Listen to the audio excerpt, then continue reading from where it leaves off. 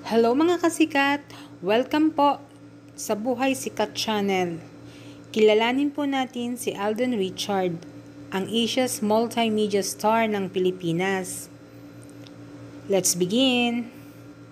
Si Richard Reyes Fulkerson Jr. or mas kilala sa Alden Richard ay ipinanganak noong January 2, 1992 sa Quezon City, Manila, Philippines.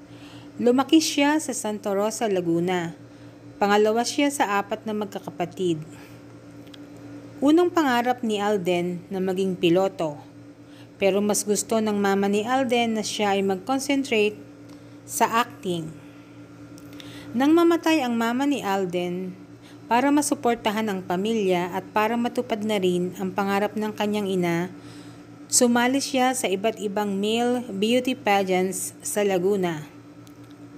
Nag-part-time at naging commercial model.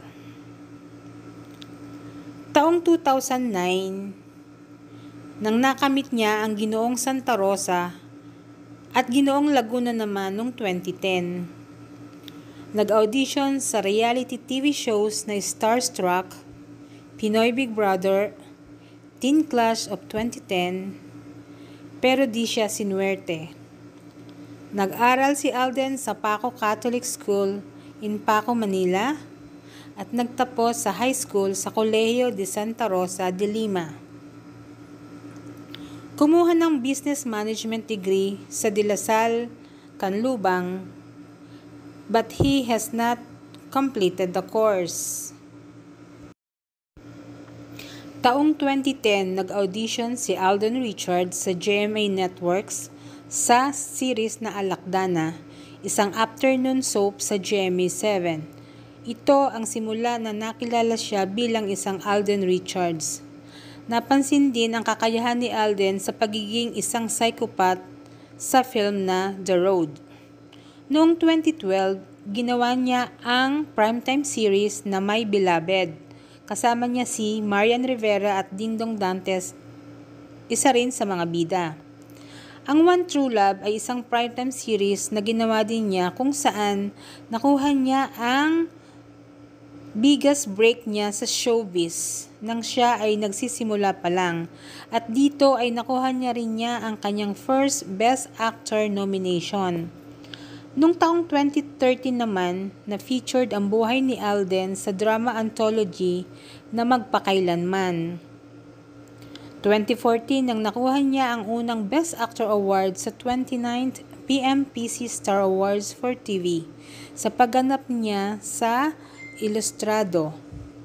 Taong 2015, naging regular siyang member ng noontime show na Itbulaga dito nakatambal niya si Maine Mendoza, nakilala as Yaya Dav. Naging love team silang dalawa at gumawa ng iba't ibang project under JMA7. Ang love team nila ay kilala as Aldav. Noong taong 2022, ginawa naman niya ang Startup PH kasama si Bea Alonso sa JMA7. Ngayong 2023, inaabangan din ang pelikulang ginagawa niya kasama naman niya si Julia Montes at saka ang megastar.